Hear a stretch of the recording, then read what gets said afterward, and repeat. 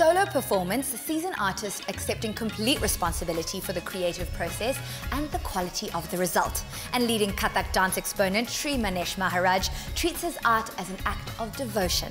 As the audience, we witness only the performance and rarely have the opportunity to see exactly what the preparation entails. So spending time with Manesh during rehearsals was a rare privilege, which you're about to share.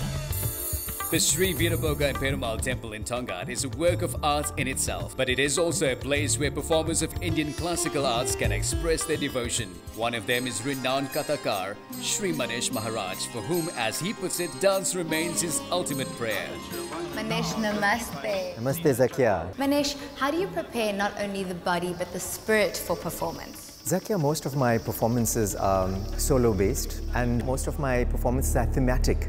So they have been inspired by real life experiences, either negative or positive.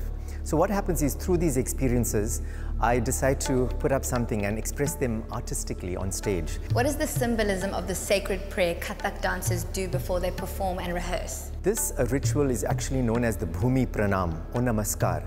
Bhumi means Mother Earth and Namaskar means to prostrate. So as dancers, all of us do believe that Mother Earth is really burdened, especially with this day and age. So before dancing on her, stamping on her, we take an apology from her and we also take her blessings.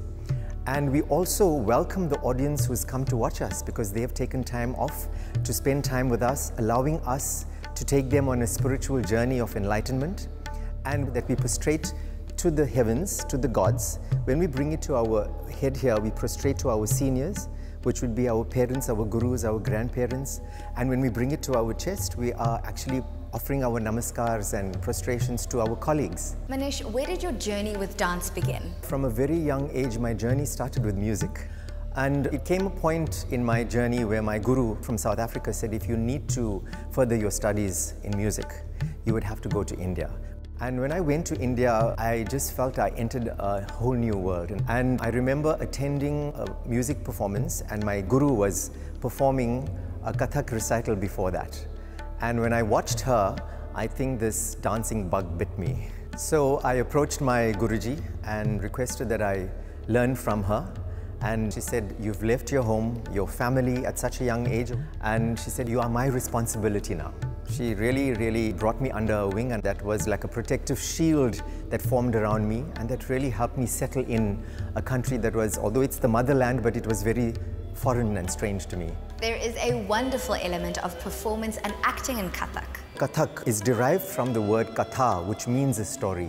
The body language plays an important role in storytelling. We have to use the facial expressions, which is known as abhinay, and a student has to study the different parts of the face, the eyes, the lips, how we use them in different degrees to emote a certain expression. And the codified hand gestures that we have, we have pataka, tripataka, Ardhapataka, Kartari Mukha, Mayura. So if we take this first hand gesture, Pataka, one of the uses is a mirror. And Tripataka, the ring finger which is bent, is used to apply a, a dot See? So with just the first five mudras, we'll be able to create a little story. Manesh, what tools do you need as a dancer? There's this word riyaz. It's an Urdu word which literally means devoted daily practice. Art means nothing if you cannot devote time to your practice. So devotion is very important and disciplined riyaz. I could easily say I danced for an hour, but actually I was not productive. Your dance space is a sacred space. This would mean not to bring any kind of stress that you must be experiencing or negative energy that you've experienced in the day. Leave it outside and bring a clean canvas into that space. You ask forgiveness from Mother Earth for slapping the ground. How do you develop this ability? Zakia, it's very important for you to know exactly how you have to manipulate the foot to create the sound against the ground. So you literally grab the ground with your feet, spread out the toes, and try and flatten the underneath of your feet. Okay. Thereafter, you lift the foot up and stamp against the ground.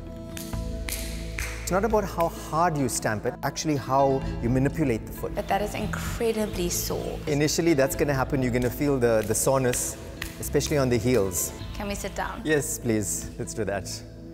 Manesh, in Kathak, do you have any boundaries? Yes, there are some boundaries. First of all, as a Kathakar, I am a firm believer of the classical and the tradition.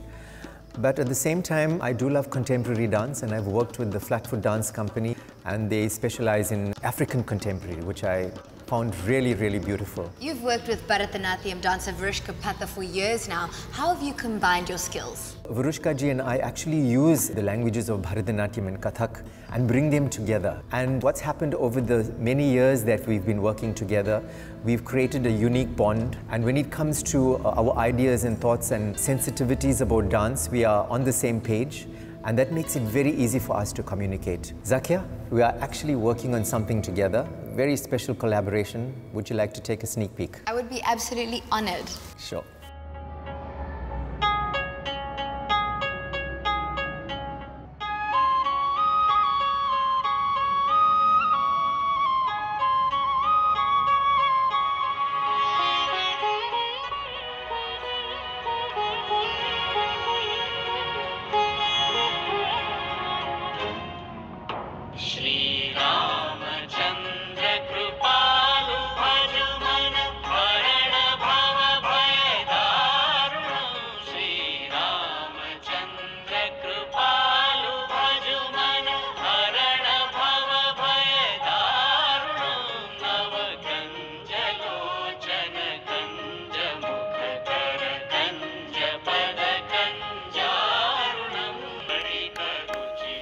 Can never take my eyes off the two of you.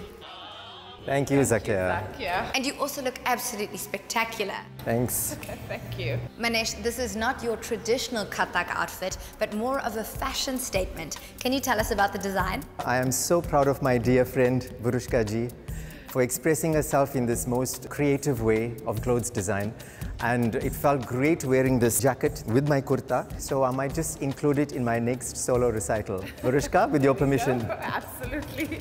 And finally, Manesh, what words of wisdom do you have for the creatives out there? Upcoming dancers need to realize the purpose of dance, which is ultimately to give the audience an experience, take them on an enlightened journey, and ultimately elevate and heal them. And if you keep this in focus, I would say my advice to you would be to heal as many people as you can.